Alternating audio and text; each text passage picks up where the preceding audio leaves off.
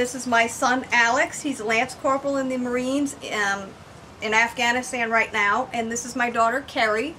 This was at his graduation at Parris Island in March 2009.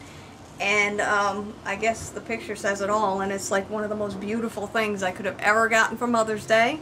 I love you. I love you both. I'm going to hang it on the wall with the letter as soon as I get inside.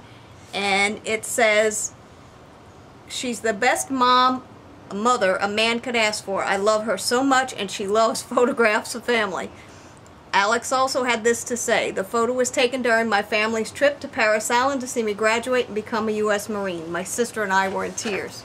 And that's about how it went. Our whole family was in tears. It was one of the greatest days ever. And we miss him terribly. So I love you, Alex, and I love you, Carrie, and I'm really happy with this. Best ever. Thank you.